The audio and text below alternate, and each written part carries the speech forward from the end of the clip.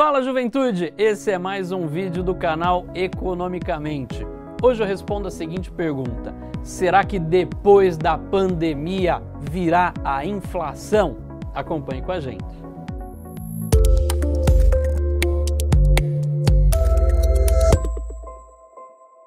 Enquanto em alguns países a pandemia de Covid-19 ainda fecha algumas empresas e negócios, deixa prateleiras de supermercados vazias, alguns economistas já começam a criar uma discussão sobre um potencial avanço do nível de preços após a pandemia, ou seja, o retorno da inflação. Embora o futuro ainda esteja envolto numa grande névoa de incertezas, a pergunta que fica é: será que depois da pandemia, tendo enfrentado o vírus, nós teremos inflação? E é justamente a discussão que nós vamos fazer hoje. Hoje eu vou discutir e comentar com vocês quatro fatores que podem justificar e até mesmo explicar este potencial aumento de preços após a pandemia. No entanto, Antes mesmo de comentarmos e falarmos sobre esses quatro fatores, eu preciso lembrar uma coisa: a inflação nada mais é do que muito dinheiro procurando poucos bens e serviços. Em outras palavras, eu estou dizendo que se trata de um aumento contínuo e generalizado do nível geral de preços, ou seja, o nosso dinheirinho perde valor e, consequentemente, acabamos tendo uma perda de poder de compra. Bom, tendo relembrado e recapitulado essa questão da inflação, nós precisamos também nos lembrar que desde o início da pandemia existe uma preocupação com a inflação. Afinal, em função das medidas de isolamento social, muitas fábricas e indústrias fecharam, o que já iniciava uma preocupação sobre o aumento do nível de preços. No entanto, eu quero aqui abordar quatro fatores que vão explicar ou podem explicar um potencial aumento de preços daqui para frente, mas vamos começar por ele, sendo o primeiro estímulos do governo. A premissa de inflação baixa estava embutida nas políticas econômicas adotadas pelos governos e até mesmo nas ações do próprio mercado financeiro. Isso foi possível fazer com que nós tivéssemos uma redução drástica da taxa de juros e, ao mesmo tempo, que o governo pudesse adquirir uma quantidade enorme de dívida e os bancos centrais a aquisição de títulos do Tesouro. Em outras palavras, o que eu estou querendo dizer é o seguinte: em 2020, a oferta de moeda disparou, principalmente como forma adotada pelos governos e principalmente pelos bancos centrais para conter os impactos econômicos da pandemia de Covid-19. Os governos ao redor de todo o mundo tomaram empréstimos de monte principalmente como forma de estimular a economia, sejam adotando subsídios, benefícios, bolsas ou auxílios emergenciais. Desta forma, se nós considerarmos a ideologia econômica do monetarismo, essa que foi uma ideologia predominante durante a década de 80, nós sabemos, segundo eles, que a causa da inflação é o excesso de moeda.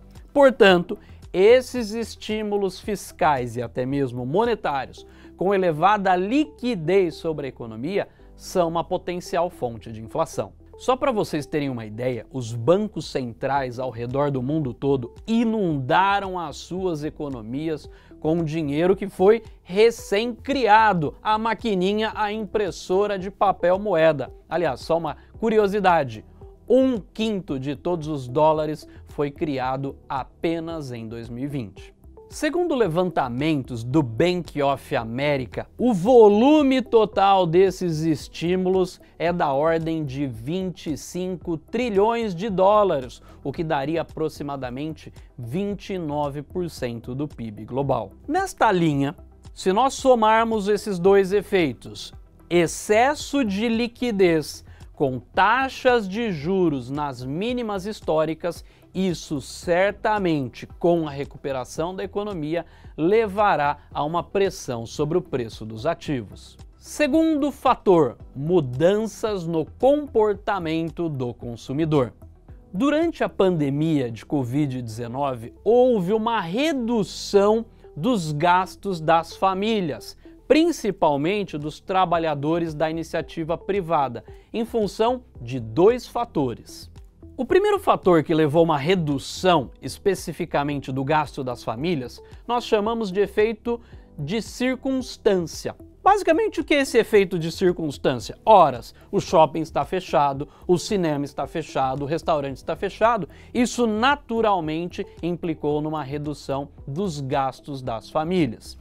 O segundo efeito, por sua vez, nós chamamos de efeito de precaução, ou seja, uma vez que estamos entrando numa recessão, há um temor de perda de emprego e, consequentemente, de renda, levando as famílias, consequentemente, a um aumento da sua poupança e redução de gastos. Alguns economistas acreditam que nós podemos ter um aumento de preços, mesmo que transitório, quando o consumidor retomar os seus gastos à medida em que os impactos da pandemia começarem a se dissipar. O que eu estou querendo dizer, pessoal, é o seguinte: o consumo será muito mais intenso quando efetivamente tudo isso passar. Afinal, nós estamos sendo privados neste momento do consumo de alguns produtos de bens e serviços. Desta forma, à medida que vencida a pandemia, uma vez que estamos neste momento abdicando de consumo, esse consumo virá fortemente no futuro. Nessa linha, o que eu estou querendo dizer é o seguinte: o consumidor faz o seguinte pensamento: é preferível gastar menos agora, em função dos dois contextos que comentei com vocês, e mais depois. Portanto, uma vez que estejamos vacinados e nos livrados da tirania do Zoom, certamente nós iremos à farra dos gastos e compensar todo o consumo que foi abdicado. No entanto, eu preciso lembrar o seguinte: a pandemia levou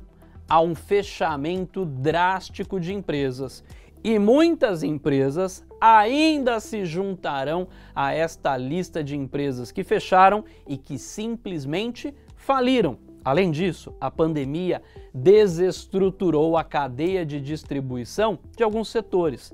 Desta forma, o consumo tenderá a se recuperar numa velocidade muito mais rápido do que a oferta. Desta forma, eu tenho exatamente como nós começamos a nossa discussão. Nós vamos ter muito dinheiro correndo atrás de poucos bens e serviços. Assim, a disposição das pessoas em recuperar o seu consumo e a disposição a gastar se recuperará numa velocidade muito maior do que a disposição em produzir esses bens e serviços.